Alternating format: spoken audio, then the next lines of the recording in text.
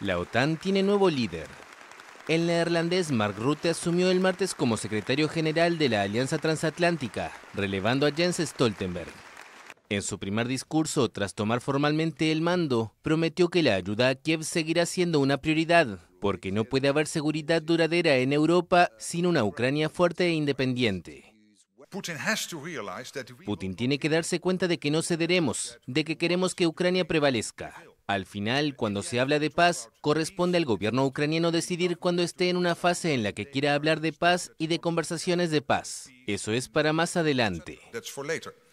Rute desestimó que el resultado de las elecciones presidenciales en Estados Unidos previstas para noviembre sean un motivo de preocupación y confió en poder trabajar productivamente con quien gane.